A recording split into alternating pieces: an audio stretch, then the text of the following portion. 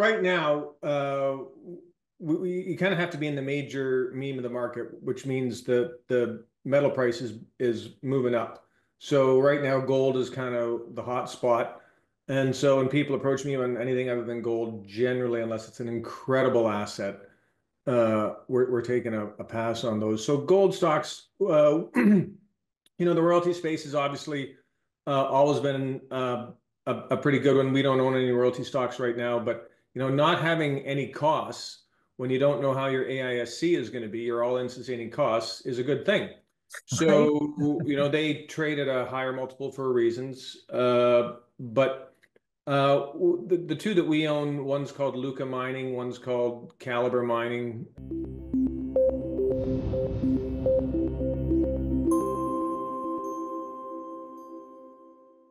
Keith Schaefer, how are you? Andy, I'm doing well. Thanks for giving me a ring and bringing me back into the space a little bit. You're very welcome. Um, we were texting back and forth. It's been about, I don't know, three weeks ago.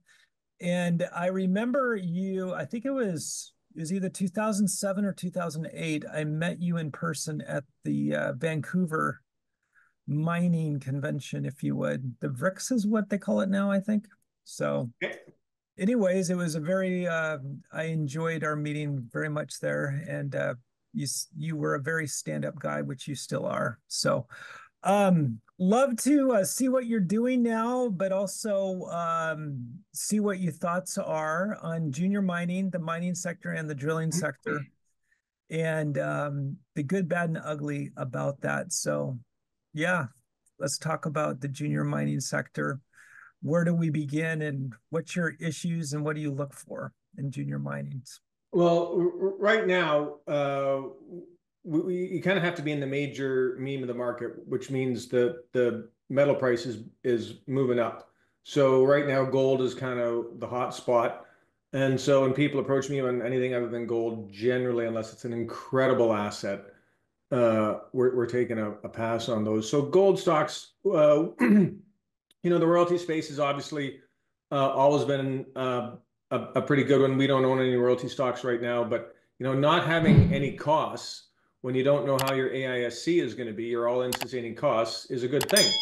So you know they trade at a higher multiple for reasons. Uh, but the two that we own, one's called Luca Mining, one's called Calibre Mining. Um, Calibre just bought um, the asset in Newfoundland, the Valentine Mine, that they're going to be putting into production that we think's got a shot at getting a big re-rate uh, in early 2025, assuming that everything goes well here. You know, it's just so funny, Andy, over the last decade, you know, there's been enough disasters on new mines that the street's no longer willing to bid these things up in anticipation of new cash flow. That the street is now expecting there to be a hiccup or three along the way uh, in getting these things built. Plus, you know, the truth is that some of the feasibility studies, even the bankable feasibility studies, ended up being completely wrong. So you had some pretty big CapEx numbers get written off very quickly over the last 15 years. So that's why these none of these assets are really stocks are getting any big joy until the asset's been producing for six, nine, 12 months.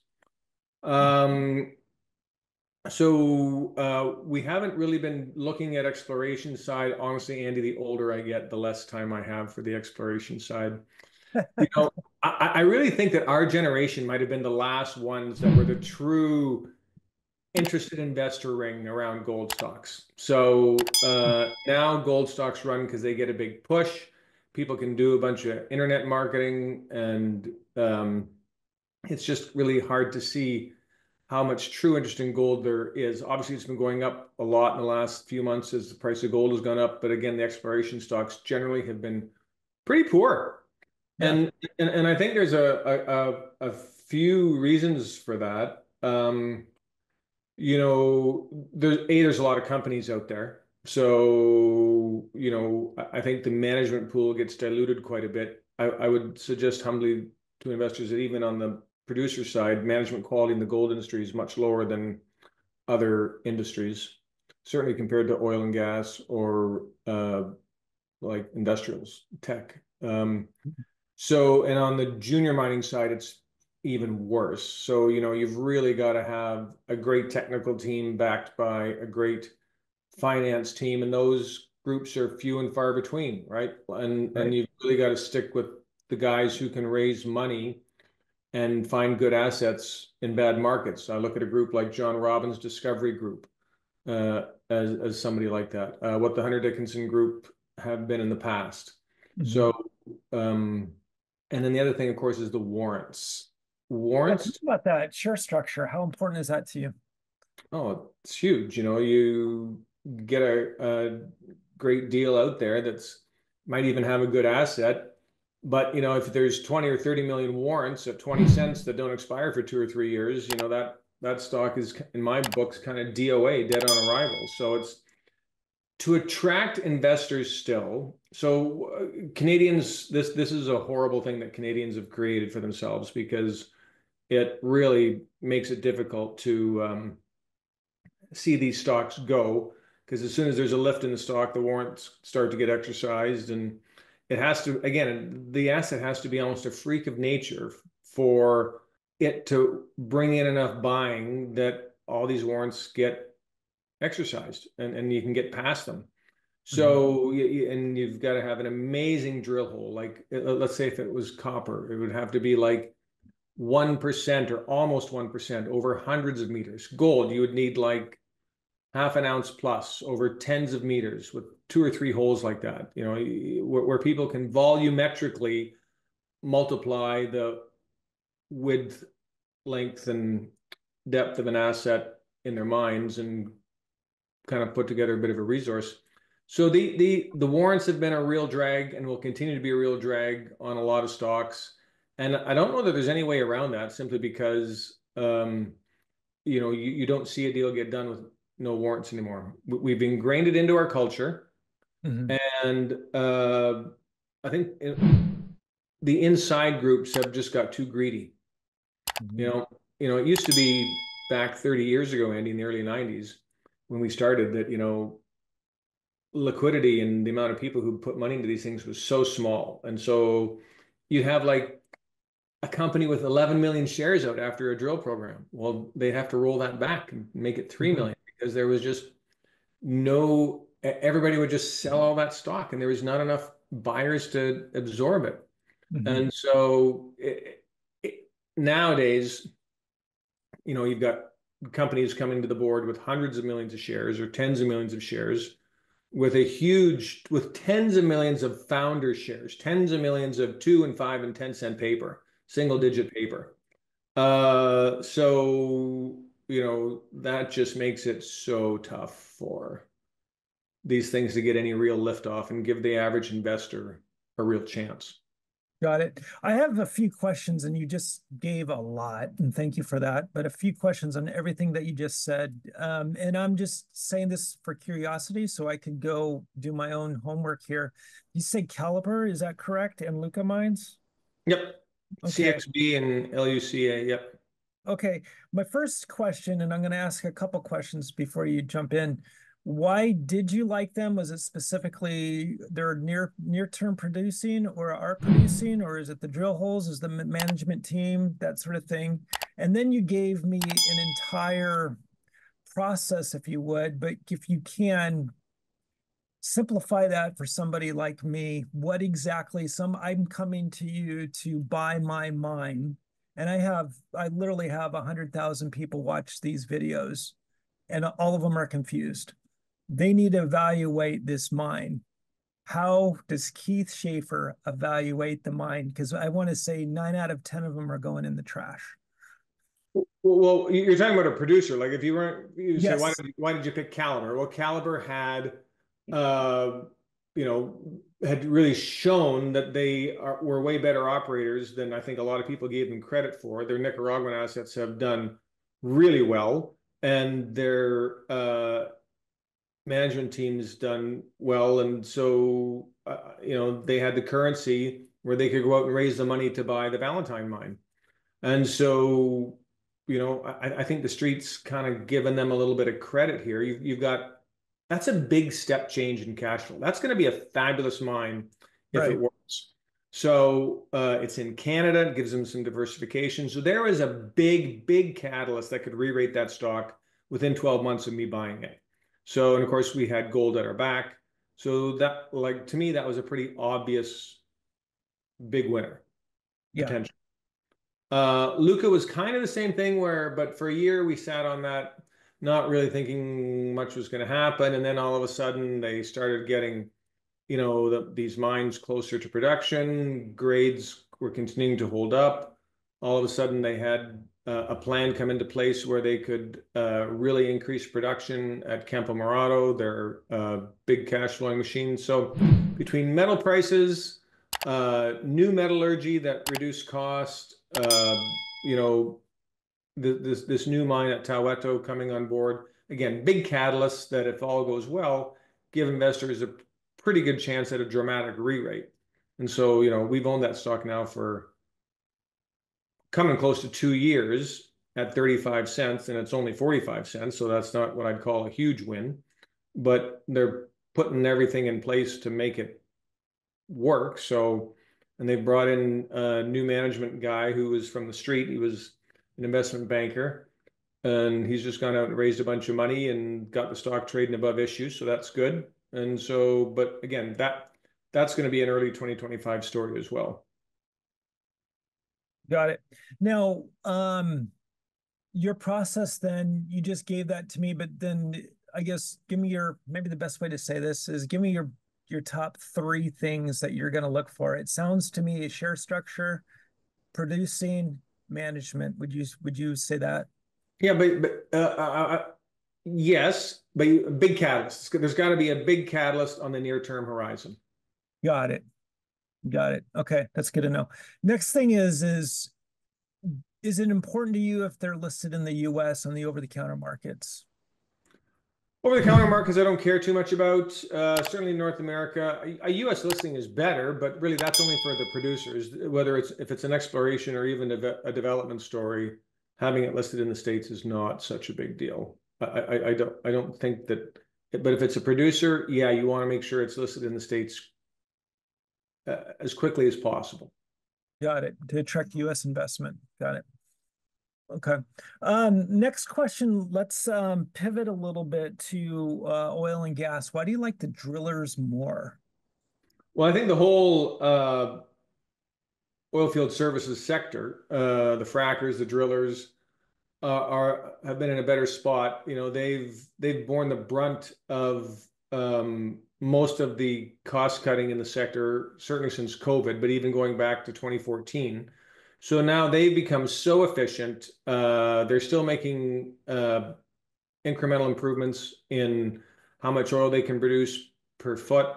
So uh, and and the whole sector, just like the producers, the the oil and gas producers are now in a position where they don't want to grow, grow, grow. They just want to return money to shareholders. And the service sector is kind of in the same boat where uh, they're not interested in, you know, increasing the size of their fleet right away. They want to milk what they've got and return capital, keep their debt ratios really low. So the whole sector's had a pretty big turnaround. But I, I just think that the the services sector is now done with being the patsy for the producers.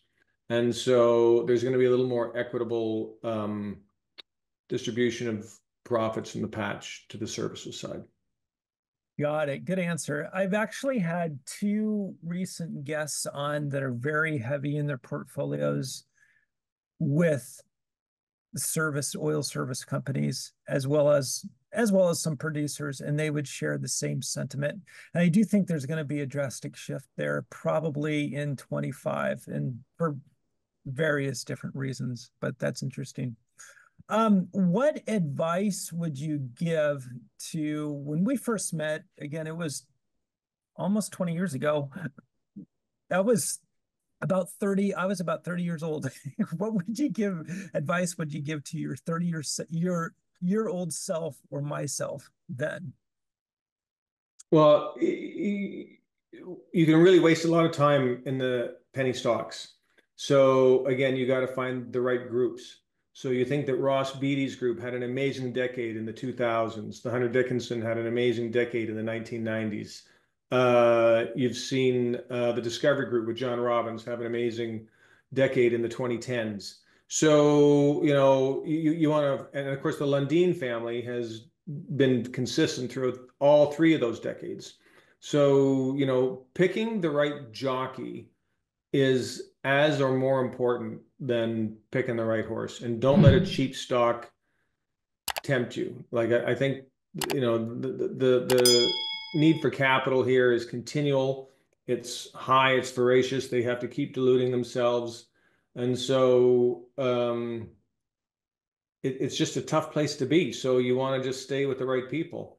Now, the market is big enough for everybody, that's for sure. So, you know, there's a lot of guys who are willing to go pick up stocks at a penny or two over the course of two or three years and accumulate a position in a shell company that's being ignored by a good team while they're focused on some other asset.